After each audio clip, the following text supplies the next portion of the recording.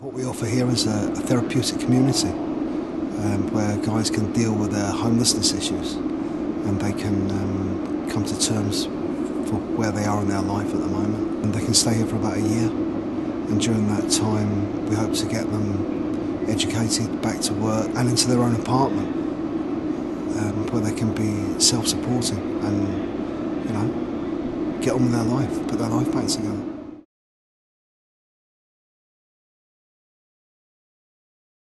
The equine therapy that we're hoping to put in is, uh, is run by a guy who himself is a vet, a combat vet, who suffered from post-traumatic stress and he found his healing through equine therapy and he liked it so much that he became an equine therapist himself. Being in a therapy space with a thousand pound beast, you know, is uh, you have to develop a sense of trust. The main area outside the, the patio at the rear of the building is going to become our vegetable garden and we're going to feed ourselves and nutrition is going to play a, a high um, you know, point in, in our re recovery from homelessness. And we're going to use it as therapy. And we're going to eat well. And then any surplus we get we're going to sell.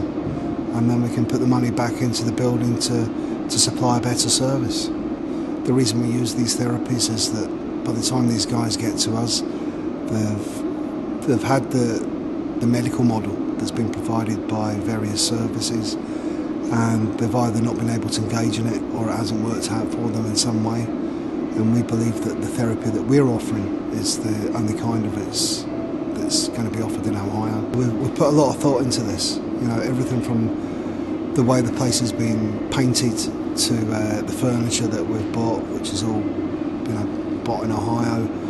Um, we've used local firms. Um, and we've consulted the um, you know ADA on everything. You know, you'll notice that some of the light switches are lower than they should be. You know, so people with in a wheelchair can access them. We painted the walls this colour because we didn't want it to look institutionalised. Most buildings are white or beige. We wanted to create a home feel so that it becomes their home, it doesn't become an institution. We're also opening and running a thrift shop um, we get donations of lots of clothes, and we're going to turn, turn those clothes into money so that we can supply even more services for the guys here.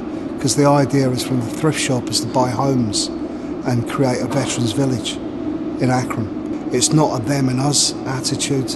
We're, we're all in this together. It's a, it's a we community.